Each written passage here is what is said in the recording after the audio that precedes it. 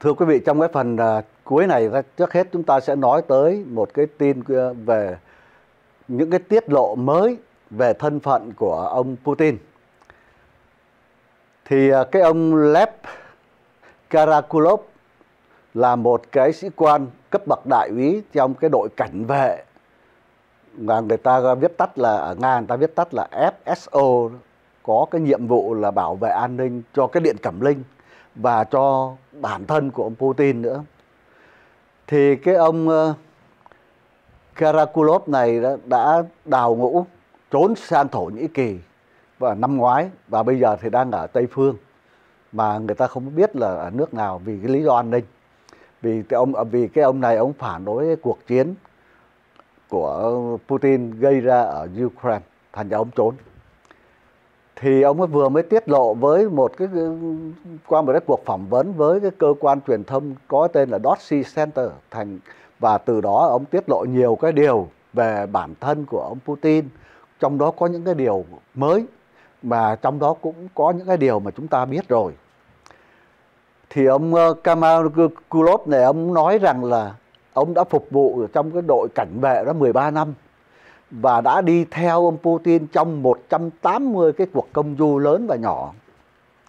Và trong những cái cuộc công du như vậy đó ông giữ vai trò của một kỹ sư chuyên môn có nhiệm vụ là mật mã hóa tất cả những cái câu chuyện, những cái trò chuyện hay những cái liên lạc giữa ông Putin với những cái thành viên khác đi theo ông trong đoàn để dĩ nhiên là để tránh đi cái sự tai mắt của gián điệp đối phương thì ông có tiết lộ như thế này. Thứ nhất ông nói rằng là ông Putin là một cái người vô cùng sợ hãi cái chuyện mà covid dính covid 19 đến nỗi nó trở thành một cái ám ảnh. Thành ra trong suốt cái kỳ mà dịch covid 19 hoành hành á, thì ông ở một cái một cái nơi cư ngụ mà nó được bố trí như là một cái bom ke tức là một cái hầm ờ, tránh bom. Ông hoàn toàn ông cắt đứt mọi cái sự tiếp xúc với lại cái người bên ngoài. Rất là hiếm để mà để mà xuất hiện. Thì cái điều này thì rõ ràng là một cái điều mà chúng ta biết rồi. Cả một cái thế giới đã nhìn thấy ông đã kỹ lưỡng như thế nào trong cái việc mà tránh dịch. Ngay cả cái chuyện mà ông tiếp đón những cái khách ngoại quốc đó, ông qua những cái bàn mà nó dài bảy, tám thước vậy đó, để mà nó có một cái khoảng cách thật là an toàn cho ông cái chuyện thứ hai mà ông Karakumov ông nói đó, ông nói rằng là ông Putin là một cái người có thể nói là ghét hay là không thích những cái dụng cụ mà nó gọi là kỹ nghệ tân tiến. Suốt 13 năm làm cảnh vệ cho ông ấy, ông này chưa bao giờ thấy ông Putin xài cái phone cái cái cái cái phone tay bao giờ. Và cũng chưa bao giờ thấy ông đi vào gọi là internet mạng xã hội mạng gì cả. Theo ông Karakumov thì coi như là ông Putin chỉ có biết được cái tin tức là do những người cận thần người ta tường trình lại, người ta báo cáo lại hay người ta phải có nhiệm vụ tóm tắt cho hàng ngày cho ông mà thôi. Có nghĩa là mình thấy đối với tin tức chung quanh thế giới này ông rất là mù mờ. Chính vì có lẽ đó mà à, người ta tin rằng là ông Putin đã hoàn toàn đã không biết được những cái sự thật về chiến về chiến tranh nó đang xảy ra ở Ukraine nó bất lợi cho nước Nga như thế nào và cái chuyện thứ ba thì ông nói rằng là trong cái vấn đề mà giao thông đó ông Putin không thích đi máy bay, mà ông thích đi những những cái cuộc mà đi xa trong nước, ông lại thích sử dụng cái cái xe xe lửa cá nhân của ông, riêng của ông. Tại vì theo ông Putin, ông nói rằng là đi máy bay là người ta theo dõi được hành trình của cái chiếc máy bay đó. Người ta biết ông đi đâu đến đâu.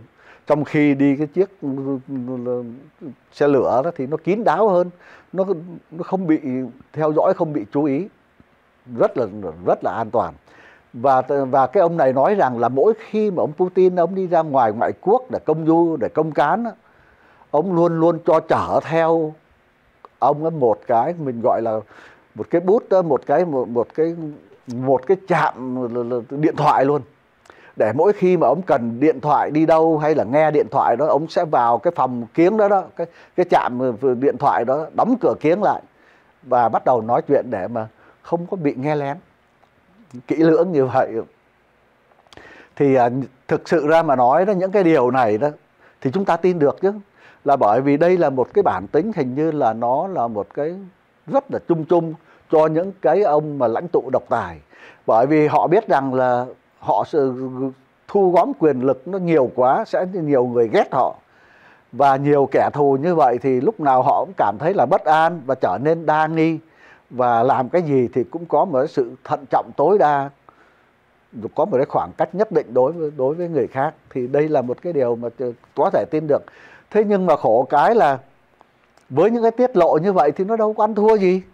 Nó cũng chỉ là những cái tiết lộ về cái cá tính của ông Putin mà thôi.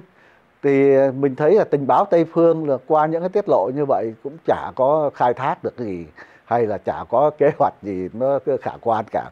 Tuy nhiên có một cái điều mà người ta vẫn từ, từ trước đến nay người ta vẫn hay bàn luận về với ông Putin là cái chuyện sức khỏe như chúng ta đã thấy rồi có khi người ta đoán là ông bị Parkinson có khi là, là, là bị ờ, ung thư nghĩa là cái có khi nói rằng là ông bệnh lắm rồi, đến giai đoạn cuối rồi. Thậm chí có người nói rằng là hình như ông cũng đã chết rồi thì phải. Có người này là người thế thân, đủ thứ cả. Thế thì cái ông ờ, Karakulukov này, ông nói rằng là tất cả những cái tin như vậy là hoàn toàn là những cái tin đồn thổi. Sức khỏe của ông Putin rất rất là mạnh mẽ. Và ông rất là chăm chỉ để mà đi khám bác sĩ hàng năm cứ mỗi mà vào một hàng năm, cứ mỗi vào cuối hè hay là đầu thu đó, thế nào là ông cũng thân chinh đi tới những cái ờ, bệnh viện trung ương ở ở thành phố Moscow để mà ông ờ, ờ, khám tổng quát và sức khỏe của ông. Và chắc chắn là với cái lứa tuổi cùng với ông hiếm người mà mạnh mẽ được như ông, thì có lẽ là đây mới là một cái tiết lộ quan trọng, nhưng mà nó có lẽ là cái tiết lộ này nó sẽ chấm dứt hết mọi cái bàn cãi chung quanh cái vấn đề sức khỏe của ông Putin trong tương lai. Và cuối cùng thì à, chúng ta sẽ đưa tới cái bản tin à, nó lạ lùng là cái chuyện là quỳ một ngày ngoài trời dưới mưa để xin bạn gái tha thứ nhưng mà vẫn không thành công. Thì à, quý vị nghe vậy chắc quý vị cũng tưởng tượng ra đó là cái câu chuyện xảy ra ở Trung Quốc Trung Quốc thì nó tới một tỷ tư con người, thành ra nó đông người thì nó lắm chuyện lắm, nói hoài không hết. Thì cái câu chuyện này nó xảy ra ở thành phố Đạt Châu, tỉnh Tứ Xuyên. Vào cái ngày 29 tháng 3 vừa rồi đó, người ta thấy một thanh niên rất là trẻ, tự nguyện đi tới quỳ xuống ở cái lối ra vào của một cái khu văn phòng làm việc. Mà mình hay gọi là một cái khu công sở đó từ cái lúc mà là một giờ trưa cho tới tận 10 giờ sáng ngày hôm sau, tức là ngày 30 tháng 3 thì ông mới chấm dứt cái cuộc quỳ gối đó. Mà mục đích của nó, theo ông nó thổ lộ với cái người chung quanh là ông muốn xin bạn gái tha thứ cái lỗi lầm của ông. Và hai người đã chia tay nhau hai ba ngày trước. Thế thì ông quỳ như vậy là tổng cộng như vậy chúng ta thấy là 21 tiếng đồng hồ. Mà nhiều khi trời nó cũng đổ mưa và rất là lạnh lẽo. Cho nên nhiều người ái ngại đó người ta tới người ta khuyên anh là nên không nên làm như vậy. Kiếm một cái cách khác để mà à, để mà nói chuyện với bạn gái thì nó hay hơn nhưng mà ông nhất định ông ông không chịu. Ông nhất định ông quỳ đó. Rồi à, cảnh sát cũng được à, gọi để mà tới để khuyên nhủ anh ta thì không ngờ là anh ta quay quay lại đốp chát với cảnh sát luôn. Ông ta nói, anh ta nói rằng là tôi quỳ như vậy thì nó có phạm pháp hay không? Còn nếu không phạm pháp thì cứ để cho tôi yên để tôi làm cái chuyện này. Thế thì ông từ đó đi không có ai mà mà khuyên nhủ ông được. Thế nhưng mà tới 10 giờ sáng ngày hôm sau như chúng ta nói trải qua 21 tiếng đồng hồ rồi. Thì người ta thấy ông mới lặng lẽ đứng dậy và bỏ đi thì mình không hiểu nổi là lúc đó là ông ta anh ta quá thất vọng quá mệt mỏi để chịu thua. Hay là trong 21 giờ quỳ như vậy dưới, mưa gió lạnh lẽo như vậy ông ta đã ngộ ra được một một cái một cái điều là nếu mà cô gái kia động lòng đó thì anh ấy chỉ cần quỳ 15 phút đồng hồ là người ta đã phải chạy ra rồi còn bây giờ đã 21 giờ đồng hồ trôi qua mà chưa thấy bóng dáng của cô thì có lẽ là có quỷ nữa thì cũng như thế mà thôi. Thế thì câu chuyện nó đơn giản như thế thôi, nhưng mà nó được hình ảnh của nó, câu chuyện của nó được đăng tải trên cái trang mạng Weibo của Trung Quốc mà quý vị có thể tưởng tượng không 150 triệu người vào xem. Con số nó kinh khủng như vậy đó. Và thử hỏi rằng là 150 triệu người vào xem cái câu chuyện đó thì người ta để lại bình phẩm là bao nhiêu? Phải nói là vô số. Không thể nào sức người có thể đếm được những cái bình phẩm như vậy và dĩ nhiên cái khen thì ít mà chê thì nhiều. Có người chê là làm cái gì như, như vậy thì nó có vẻ như bất mặt nam nhân quá. Không có thể làm được như vậy và có người khác nói rằng là làm như vậy thì cũng có vô ích quá. Là cái chuyện tình cảm nó không thể là cầu xin mà mà nó có được nó phải là có những cái nhiều cái yếu tố khác? Nhưng mà thực sự một một cái cách công bằng mà mình nói đó là trong cái chuyện tình cảm như vậy đó thì bất cứ cái chuyện khen chuyện chê gì nó cũng chỉ là cái ý kiến chủ quan của cái người của người ta mà thôi. Mình đâu phải là cậu trai đó. Thành ra mình không thể hiểu được là là là là cái tình yêu của cái cô gái kia đối với cậu nó lớn như thế nào.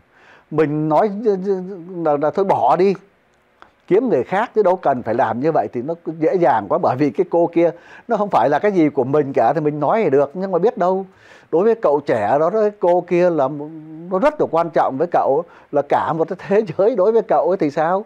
Thành ra với cái chuyện như vậy đó, cô quan trọng quá, thành ra cái chuyện mà quỳ gối một ngày như vậy thì có lẽ là cậu cho rằng là xứng đáng để làm. Với lại hơn nữa, nếu như mà chúng ta có khen cái là cậu thế này, cậu thế nọ hay là chê cô kia nhẫn tâm chẳng hạn như thế thì cũng nó, nó, nó, nó, nó không công bằng. Mình đâu có biết cái cô kia là người như thế nào cậu cũng là người như thế nào. Tình cảm của hai người đến đâu ra sao và vì sao lại phải chia tay như thế?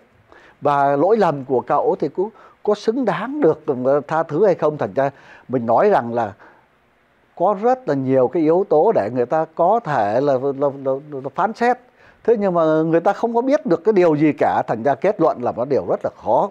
Chỉ có một cái mình thấy rõ ràng như thế này nếu như trong cái đời sống đó, đối với cái chuyện gì mà cậu đó cũng có một cái có có sự bền bỉ nhẫn nại như vậy đó thì chắc có lẽ là cuộc đời của, của cậu sẽ rất khá sẽ thành công ngay.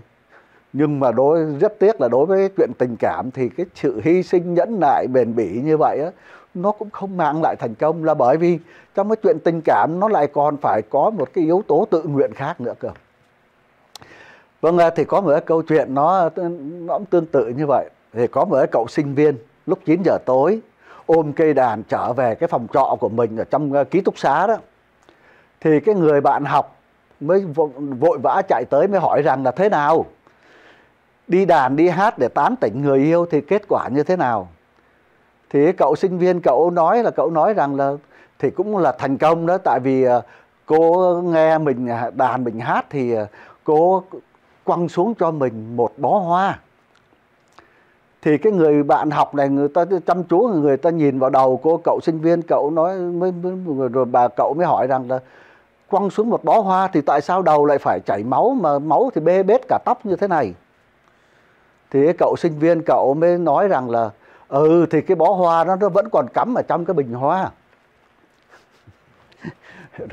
Đâu có phải là cứ ờ, đàn ngọt hát hay là lấy được tình cảm của người ta đâu. Nhiều khi là chỉ có lấy được một cái bình hoa.